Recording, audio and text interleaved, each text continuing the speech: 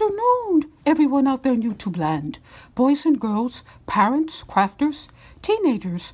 As you can see, I have this lovely bag here, and I just decided to leave and take a walk and go and get some fresh, delicious fruit for my lovely wife. She's at home today.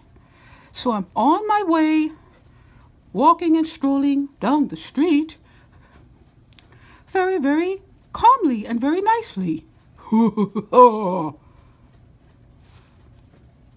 you all hear that? What was that? What is that behind me? I don't see anything. Did you all hear that, boys and girls?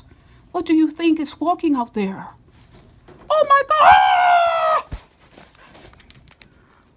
I'm coming home, honey. I'm on my way home.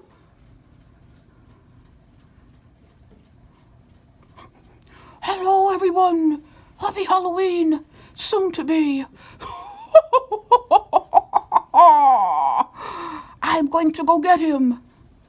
Leave me alone. Leave me alone.